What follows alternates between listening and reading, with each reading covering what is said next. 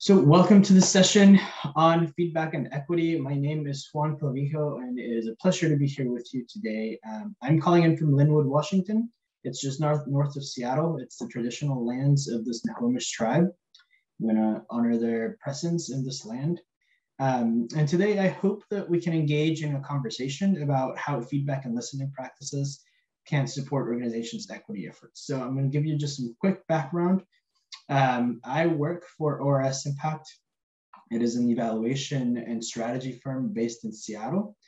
Um, and in our work as thought partners to foundations, nonprofits, and government, we've seen and we've been part of the evolving conversations around equity in our sector. Um, now, on a somewhat separate but related field, uh, which is what you all are uh, joining today in the Feedback Summit, we've witnessed and documented the evolution of the feedback field in the past few years. And we saw an opportunity to more deeply explore the connection between those two concepts, equity and feedback. So how does feedback relate to equity? Conceptually, they seem to relate, but what we wanted to do was explore what that connection looks like in practice. So we've created a report. Um, if you haven't had a chance to read it, go for it. Uh, we've put our, all of our findings in it, and I'm going to go over some of those findings today. And I'm going to use those findings to guide our conversation. So quickly then, what I hope that we can do together today is review some of the frameworks and content from the report and discuss with each other how we see these concepts show up in our experience. The plan is to go over a first framework and then we'll break out into small groups. Then a second framework with a different set of small groups. And then a final framework with some uh, large group discussion and some lessons learned. Um, you'll of course have time to ask questions along the way. I'm gonna pause there and see if you have any questions before we get started.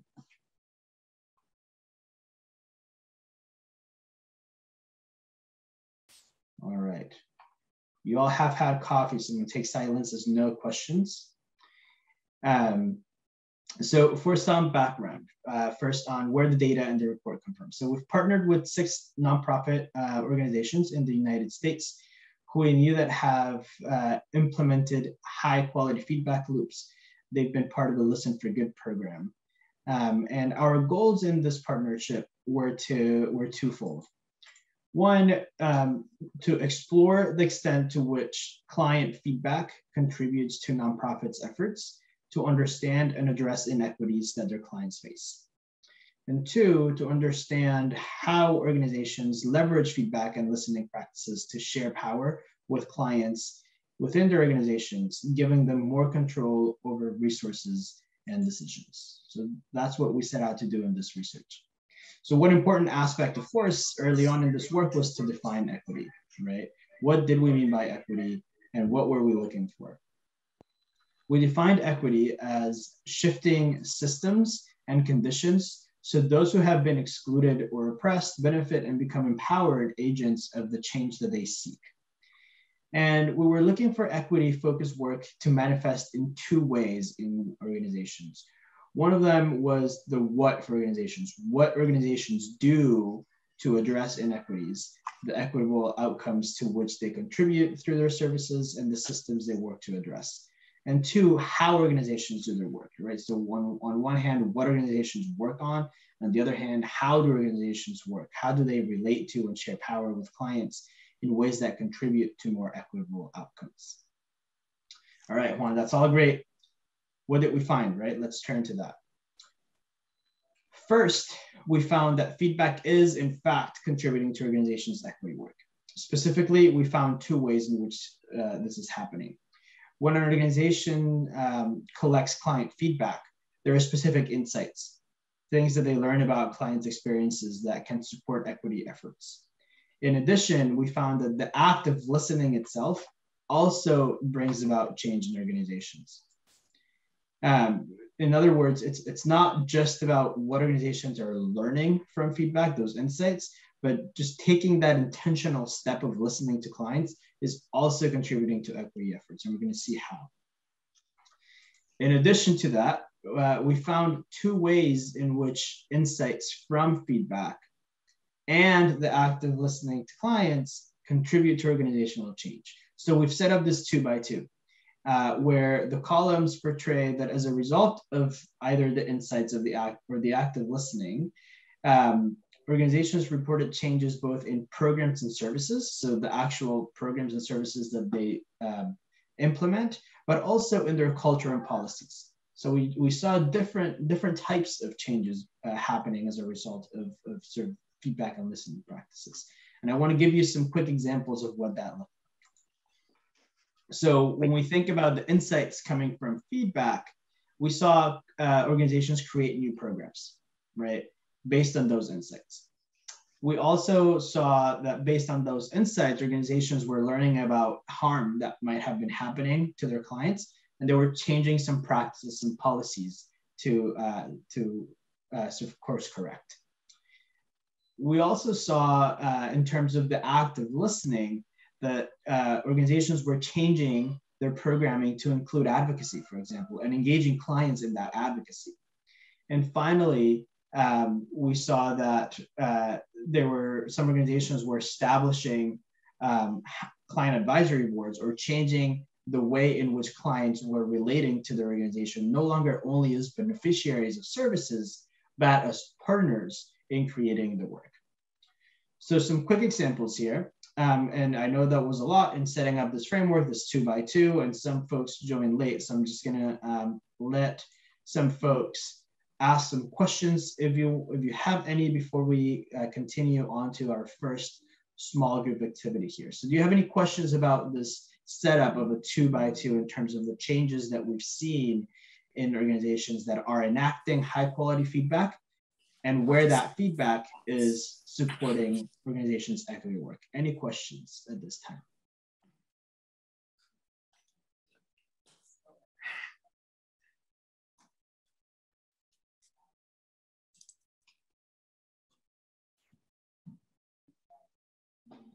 All right. Again, I'll take silence as no questions. Feel free to drop any questions uh, either on the chat or um, unmute at any time. Um, Eliza, I think we can uh, set up the groups. Let me just uh, give you the prompt here quickly and then we'll split. Um, all right, so what I've done here in this next slide is I've provided some examples that we collected from our partner organizations, examples of the changes that they've seen in their organization. Um, and what we'd like to do is with your small groups, take a few minutes to discuss where on the two by two framework you might place each example. So there's, of course, no right or wrong answer. Uh, the goal is just to practice identifying how feedback and listening can help organizations in their equity journey so that you may look out um, for these types of changes in your work or even uh, prompt these types of changes in your own work based on how you're setting up your feedback practices. Um, and when you're done, you can move on to sharing whether you've seen any examples in your own work outside of the examples that we've provided that might fit within this framework. Any questions on the prompt? All right, Eliza, I think we can go ahead and send folks to the smaller groups. All right, great. I'm gonna open up the breakout rooms. And, and I'm gonna throw in these examples into um, into the chat for folks as well. Okay, I'm gonna let you drop those in the chat before so that hopefully it'll come through. So that everybody has them. Okay, give me one second. Let me do that. I took a picture. you took a picture. That's smart. Smarter than I was. All right, stop share.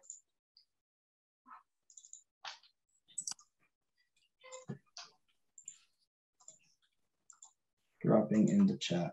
Oh, I almost sent it only to Eliza. There we go. of course, okay. they're not numbered in the chat. I apologize for that.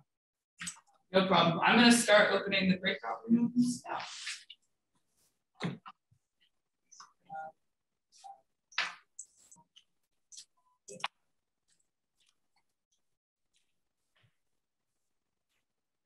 And Juan, would you like to be part of the breakout room or just stay in the main room? while Until I will stay in the main room to set up the next piece.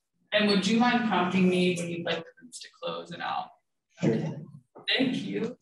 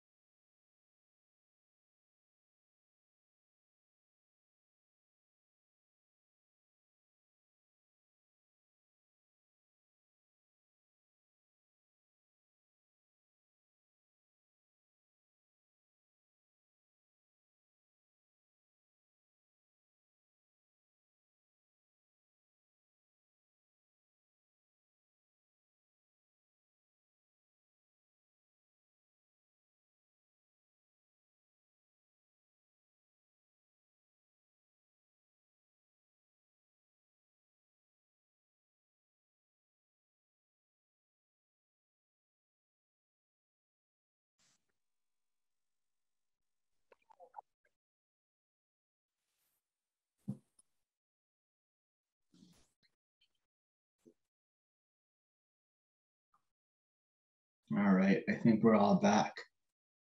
I'm curious to hear um, from anybody, so the floor is open, whether this exercise prompted any questions or any thoughts that you might want to share with the group. Now you all said you had coughing. This is not your first session, so if, uh, it would be great to have some engagement. Um, I didn't understand, sorry, I did not understand the difference between insights and active listening. Was that you, Bianca? No, that was someone else. Okay, thank you. Uh, well, it was actually from the in-person room. oh, great. Yeah, the difference between insights from feedback and active listening. That's a great question. Thank you. Um, let me let me try to explain. So when we have an organization, um, it could be a nonprofit, government, whatever, that's asking for client feedback, you know, we can ask a set of questions, right? We can ask the net promoter score question. We can ask what the organization is doing well, what they can improve upon. The responses to those questions um, are designed to give the organization some learnings, right? Some insights, either, uh, you know, if it's a closed uh, question, you get some average, right? So clients are uh, um, rating our services on a three out of a five. What does that mean for us, right? If it's a, an open-ended question, you'll learn something specific about clients' experiences with that um, organization. Those are what we're calling insights from client feedback, right? The things that you're actually learning from the from the responses of those clients to your questions. Um, and so those insights, those things that you're learning can prompt changes in your programs and services, right? So if you get a really low um, score uh, just for the rating of your programs overall, you might change something in your programs, right? Or it might prompt some changes in your practices. There are some, some client feedback questions around, for example, how respected clients feel when they come to your organization. So you might change something in your in your practices if you find out that folks are the clients are not feeling respected. So that's what, what that will look like if you're learning from insights from feedback. The difference is in the act of listening is just that the act of collecting client feedback. The organization has a, a, a, an option to not collect client feedback, but the act of being open to listen to clients, that concept of uh, finding expertise in client voice is in itself creative changes. So if we think about um, valuing client feedback differently, right? So you have an organization who has never collected client feedback, and all of a sudden you have a program officer who starts saying, oh, I, want, I, I wonder what people are saying. That openness, that uh, op- being open-minded to client feedback can also prompt changes in programs and services for example, it can it can uh, they could probably start bringing in clients to help co-design the programs, right? Asking for client input at the at the design of the programs, not just after the fact. Uh, it could also change practices in in that uh, or policies in that now clients uh, begin to have to be involved in organizations' efforts all throughout the, the, the programming, not just at the end when they're giving feedback about something that has already been designed. Does that help uh, sort make that distinction between the active listening itself and the specific insights, learnings that you're getting from, from responses? Does that help? Uh, thank you. Thank you for your question. That was helpful for me as well. Um, I was just going to mention that um, I was talking through the first one um, in my in my breakout group, and um, we put it in the category of changes in programs and services from insights from feedback. And I think uh, I, I, work for a nonprofit, and a lot of what we do is we try to train in place uh, underemployed or unemployed Americans. And our usually our first inkling is to change something in our program uh, in response to feedback. And it's almost always our response to that. And I'm just wondering in the space of equity, um, like where where could we get better at receiving that feedback and thinking uh, more internally about how we could respond uh, to certain concerns or needs that um, our constituents might have.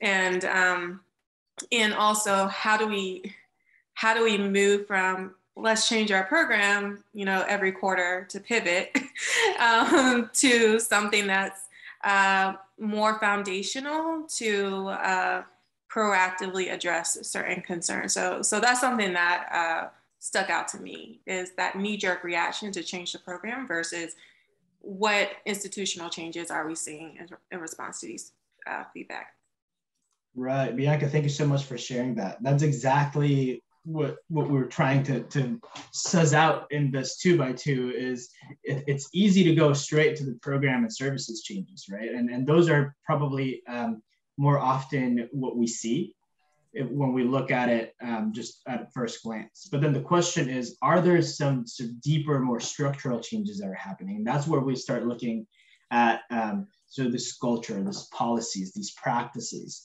you know, so in your case, uh, if you're collecting client feedback and every single time you're changing your program based on that feedback, what would it look like to change your practice so that you're collecting client input when you're designing the program and not just collecting client feedback after they've experienced the program, right? So that would be not saying that you have to do that, just an example, like that would be a change in practice that might um, be more structural, as you were saying, uh, and, and, not just have to uh, rely on changes based on the feedback after they've already experienced the program.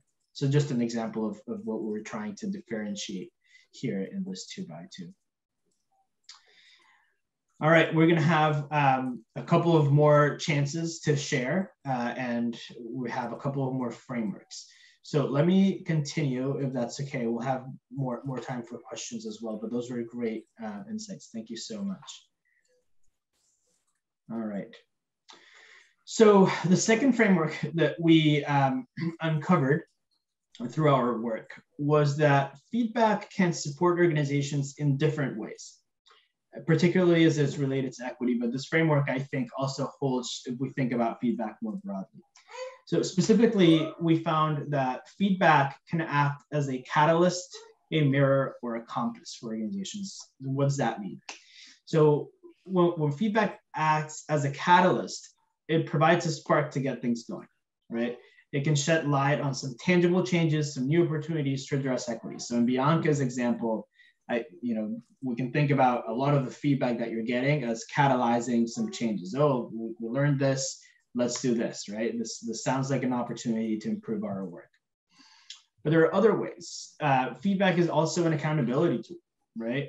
Uh, if you state out outright, this is our commitment, this is what you can expect from us, um, clients can use feedback as an accountability, uh, accountability tool that can help organizations identify gaps or ways in which current practices are or could be causing harm that is not visible to the organization, but is visible and tangible to clients. And it's a little, it's different from the catalyst, right? It's, it's sort of saying, these are the trouble spots. This is what's happening. This is where you're not holding up your end of the bargain. And finally, it can become a compass.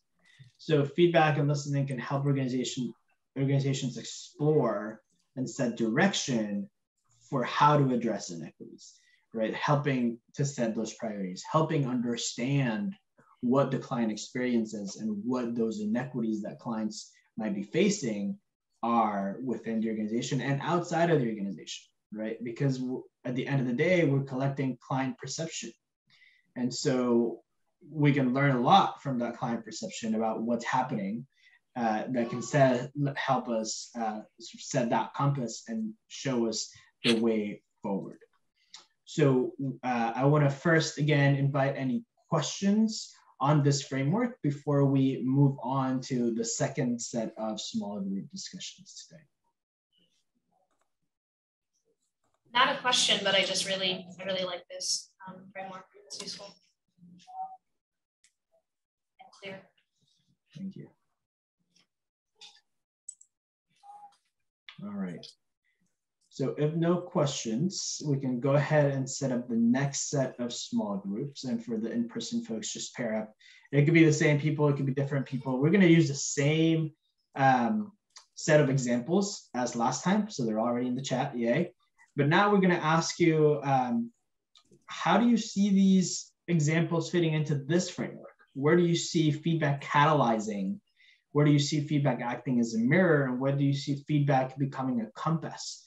for organizations. And again, no right or wrong answer. The, the hope here is that um, you know we can get better at identifying the different ways in which feedback is supporting our organization so we can harness that power of feedback moving forward. All right. Again, if you're done, feel free to share examples of your own work where you might be seeing feedback acting in these different ways as it relates to the equity work in, um, in your own experience. So Eliza, I think we can um, open up the small groups unless there are any last minute questions. All right. Groups are ready. Let's go for it. I'll open up. Thank you.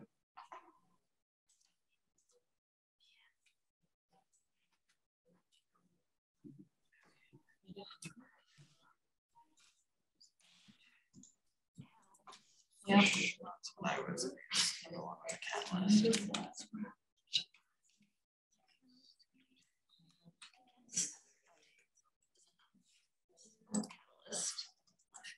Explore in some direction.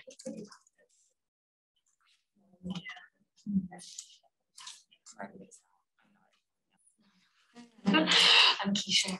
I'm Andrew. I'm Cersei.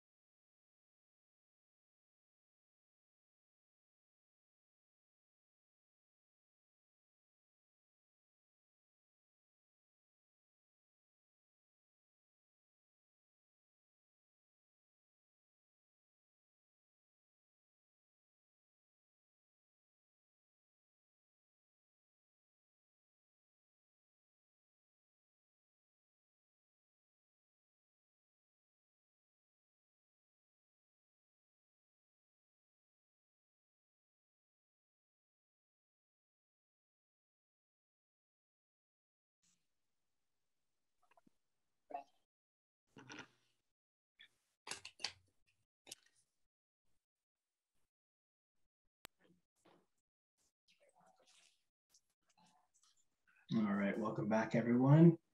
Um, curious again to hear if this discussion prompted any questions or thoughts that you might want to share with the full group. Or was there anything that you would adjust to the framework? Did you find any different categories that didn't necessarily, um, that weren't in the framework already? And some of them be all of them? we had, yeah. Maybe. it's a good question. I mean, I you know I think it, it, it probably depends on how the organization is using the feedback um, in term and, where the organization is at that point in time, right? So for organization that's ready to make changes, it might be a, a catalyst. But for organization that's sort of finding its way or, or um, you know curious of where to go, that a, a, piece of insight might help set the compass rather than um, become super tangible right away. So, so maybe I think our goal was to try to um, more explicitly put things in these buckets so that we can more explicitly harness the power of, of that specific piece of feedback as it relates to what the organization needs to do next. So could it also be on a continuum of time? Looking at it more? that in so like a catalyst is at the beginning and a compass is at the end, you know, where it has it's a it's a start and an end process through those three but, yeah that's a good question i you know I, I don't know if it's a matter of time but more so rather a um, again a matter of where, where the organization is. So if we think about feedback in a loop, right? Um, you might have something that's a catalyst at the at the beginning of that loop, and then as you complete the so you know you, you collect the um, you make a change based on the catalyst. But then you you sort of start learning more about what that change means. And then you get something that is sort of setting a different direction. So if we go back to Bianca's um, example, might you have s- some piece of feedback, some insight from feedback that is a tangible change that you can make today in a program, and then you collect feedback again on that same program and you learn something else but that's a little bit different right so maybe it's something that you're not addressing through that program but it's a need that your clients have. There's some some sort of inequity uh, that your client is facing that's not currently addressed for your program. That might help you set a compass and might set help you set direction on something else that you can do to help address those inequities. Right. So uh, maybe it's a time thing, but it's also, I think, more more related to where the organization is on the arc of, of sort of program design and implementation. So are you going to share with us the best answers? I did say there's no right or wrong answer. That's why I said best answer. I didn't say right or wrong. I said best. Best answer. Uh, I, I wasn't planning on it. um, but uh, I still have one more framework to go through, so I don't know that I'll have time to do that.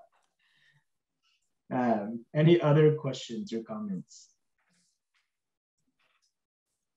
when I was uh, talking with Jeff and we were going through these, um, it was helpful. The frameworks, uh, I, I, haven't used these before, but um, particularly when we were looking at number two and we were like, well, this seems like a compass framework. And it kind of sparked to me like, that's a different type of conversation or a different tool that we would use to get a feed, feedback rather than if we're looking at this from like a catalyst perspective, which my organization is usually looking at this from a catalyst perspective. And then also um, thinking about, well, we probably need to also have different people in the room uh, to uh, facilitate those conversations and to get better data across the org um, rather than just sticking this with our programs team. Um, there might be people who are better suited to have those conversations to get us more uh, meaningful feedback. Um, so that, that was helpful uh, in this exercise. Thank you, Bianca. So there's something that, that's in the paper that's not on this presentation for time purposes, but um, I guess I will cover it slightly in the second, but something to keep in mind is that how you structure, how you design your feedback practices matters in terms of whether you're going to get catalyst feedback or feedback that acts as a catalyst, feedback that acts as a mirror, feedback that acts as a, as a compass. Um, so, you know, if, if, you're asking for feedback at the end of a program, uh, you might get sort of all three, but the lens is usually, as you said, Bianca, the lens is usually as the lens of a catalyst, right? Like, what's the thing that we can do to respond to that feedback, right? If you're thinking about it as a, as a compass, though, and using number two as an example, right? So these organizations was exploring how to better serve hard of hearing clients who were currently not taking full advantage of programs. Of course, they learned that that uh, that was an issue uh, from feedback, but the exploration, like, there's no immediate change that they made. Like, it wasn't like let me just go ahead and change this and this was solve everything. They were taking the time to explore what that could look like, and then and they were engaging clients in that process to explore what that answer could be right? So then you get something that's a little bit of, of, of both to, to whoever answer ask that question, where you have something that's catalyzing an idea, but there's no necessarily an immediate response that you can that you can enact. There, there's a little bit of work. There's a little bit of, of, of sort of yes, we need to pay attention, right? So that's why we put it in a compass. We need to pay attention to this. Uh, this is a priority now, but let's explore what that looks like because we're not really sure right? And let, let's let's involve clients in that conversation because they'll know better than we than we will. All right. So let me move on to this last framework. We learned a lot from this uh, process. Um, all the examples that we shared today pointed to shifting power dynamics within organizations. So even though nonprofits deliver services that are in theory beneficial to their clients, they still hold power over clients. They control the design of and implementation of programs, and therefore they make decisions that influence and impact clients' lives, right? So the clients, so those people that are most impacted by nonprofit services, who have the most to gain or to lose from those services, often have the least say about what they are experiencing through those services. So we found uh, what we found was that through feedback and, and listening, organizations are shifting from having power over clients to building power with clients. So by giving clients a voice, listening and responding to that feedback, and of course, closing the loop with those clients, uh, clients have increasing power to shape the services that they use and how they experience those services. The shift is also part of uh, what we looked at when we considered what equity can be, what, how feedback could contribute to equity, right? So we mentioned that equity could be what organizations are working towards. So, you know, making programs more accessible, all of that. But it could also be how the organization is working, right? Um, and so in this case, we found that feedback is contributing to equity by shifting whose voices are at the table and who has decision making power within organizations. All right. We don't have time to go back into small groups, but we're going to do just do a few minutes of large group discussion. Um, and I'm curious to hear how you have seen feedback and listening support organizations shift from having power over clients to building power with clients. So I just given one example of um, this organization now engaging clients to help them understand hard of hearing clients um, to help them understand how the services can be better designed to uh, make them more accessible to, to that population right and, and in shifting that power and giving clients that decision making power on what those services will look like in the future there's a fundamental shift of who is designing and for who. So, in your experiences, where have you seen those examples? Can you share some with the group? Right now, in public media and independent news and media in general, there is a, a it's not even an organizational level, it's a whole higher level of shift Because, and if, for example, with television, television used to be the the the um, broadcasters determining what you're going to watch when you're going to watch, with very, I mean, ratings, but now that's completely out the window because everything's downloadable and streaming. So we get to choose when we watch and what we want to watch and how we want to watch it. And with uh, the Jacksonville Public Media that I work for, WJCT, we've created an independent news.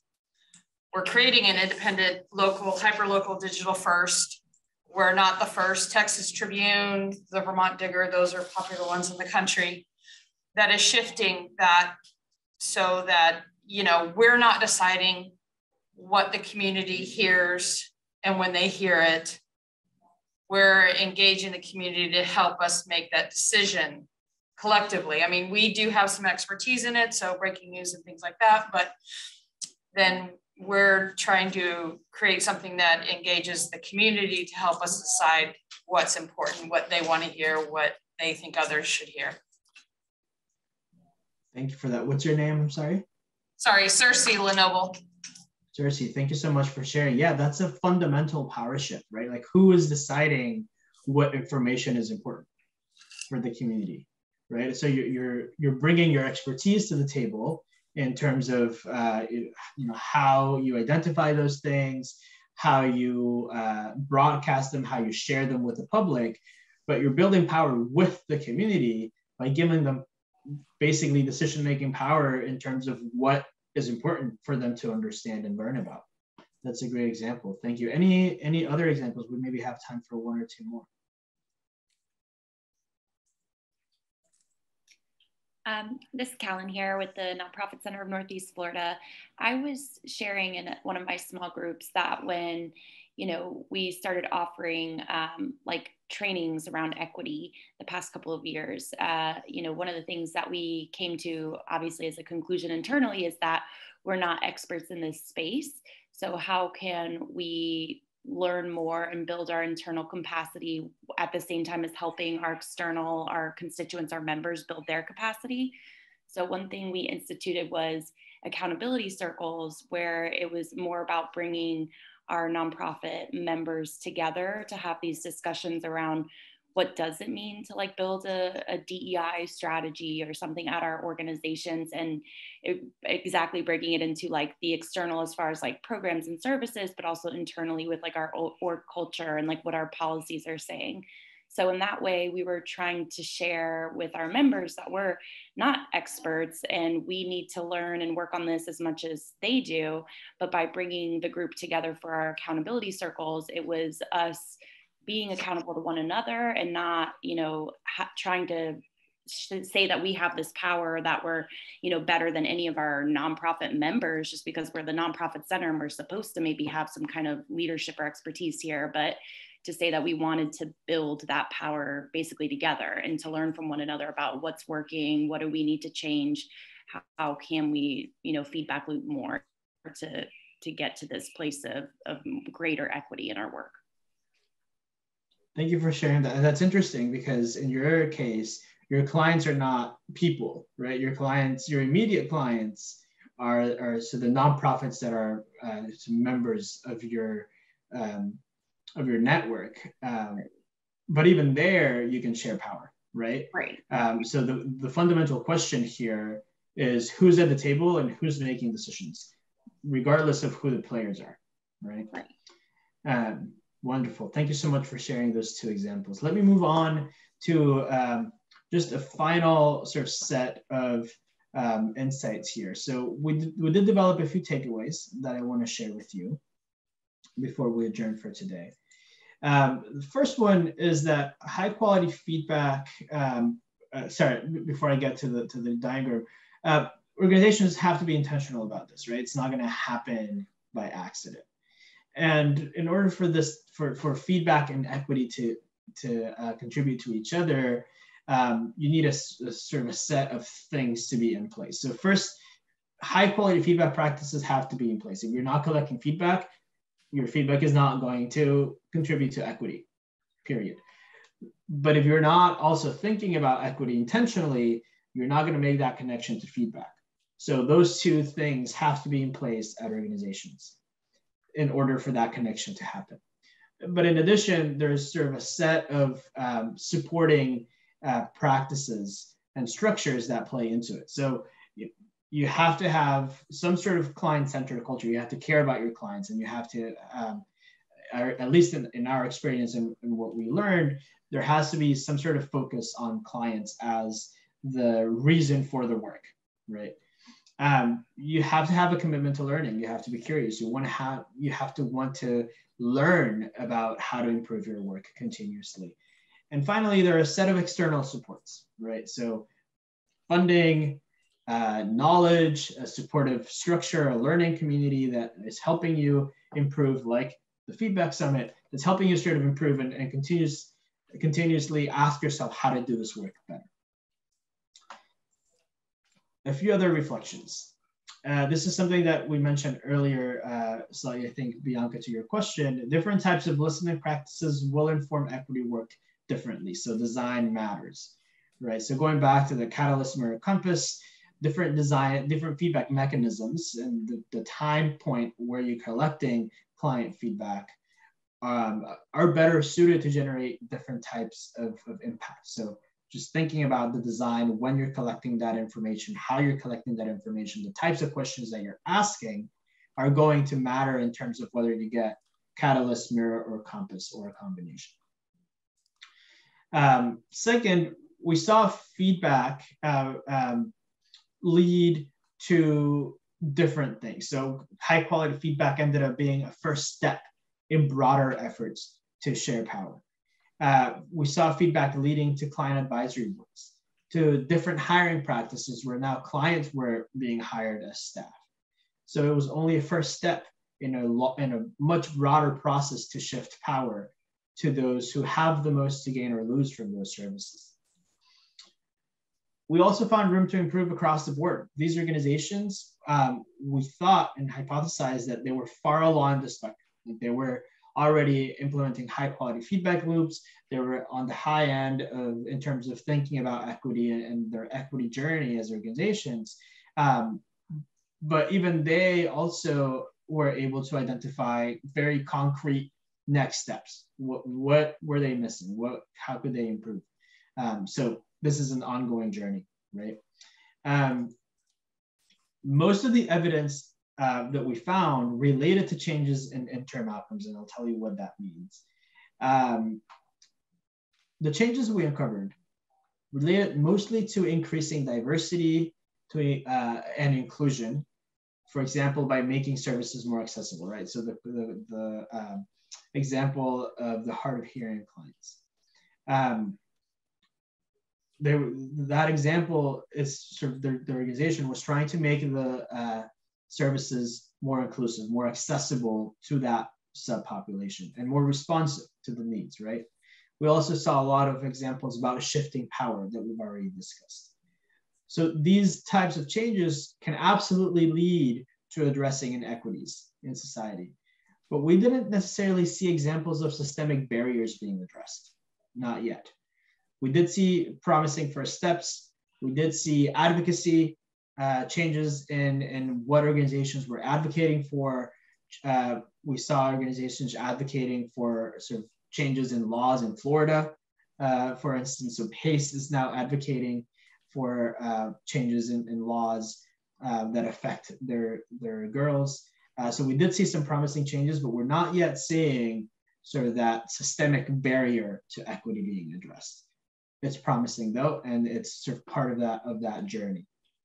And finally, um, as we've mentioned before, there are supportive practices and structures that play into this work, including external supports. And, and we are mindful and, and we heard repeatedly that nonprofits need partners and they need funding um, to change how they work in pursuit of equity. So with that, we have just a few minutes to close. I'm curious to hear from the group. Uh, was anything surprising to you? Was anything, uh, you know, were, were there aha moments? Or do you have any questions? Is there something that you were left wondering and wanting to know more about?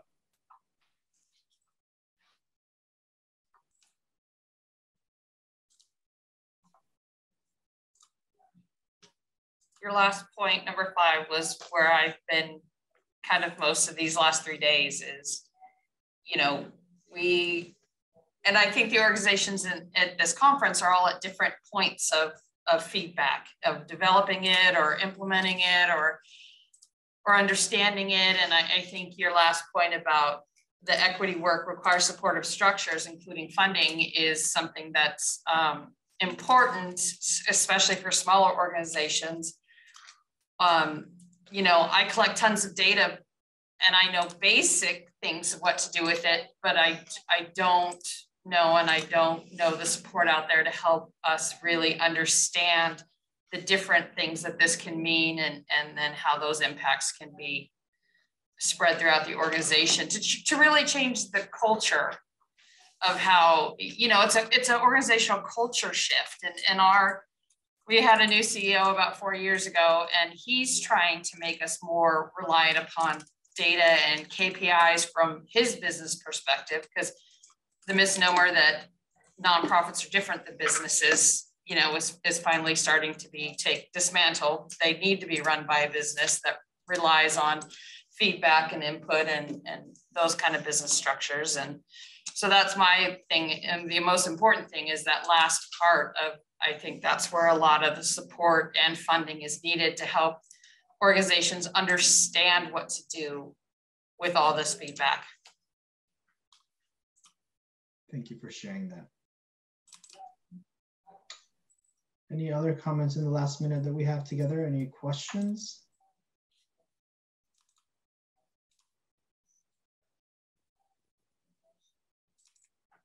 This is Eliza from the, the in-person room. I just appreciated kind of speaking with those frameworks. Um, I'm definitely love kind of sitting with them and thinking about them. Great. Well, thank you all so much for joining today. I hope that this has been helpful. Um, the paper out is out there with all of these frameworks. So um, I, I, also think it's on the Feedback Labs page. Um, so yeah, feel free to go for it and reach out um, if you have any questions. We'll be around. Thank you so much. It was wonderful spending some time with you today.